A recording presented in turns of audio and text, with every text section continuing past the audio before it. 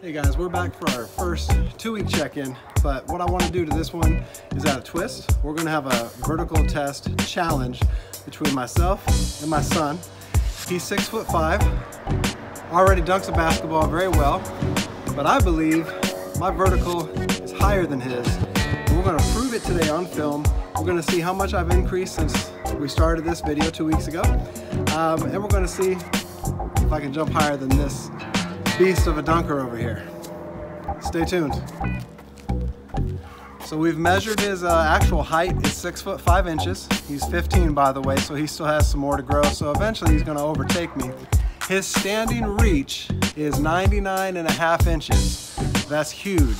So mine was 93 and a quarter. So he has six inches, six and a quarter inches above me just standing there.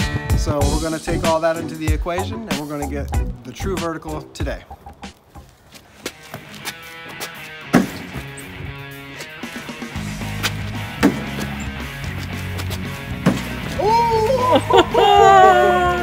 I'll say, what are you doing, old man? What are you going to do today, old man?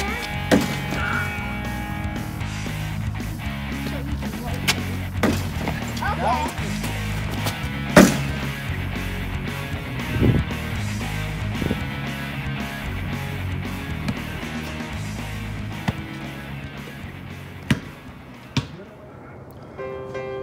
The old man has been defeated today, but there is good news. I have gained two and a half inches since the original video two weeks ago. So the numbers real quick. My uh, max vertical today was 122 and a quarter. So that's a gain of two and a half inches in the last couple weeks. So I'm, I'm happy with that.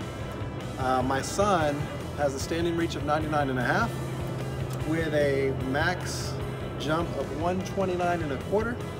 So that puts him at 30 and a quarter versus my 29 inches. So he beat me by an inch and a quarter.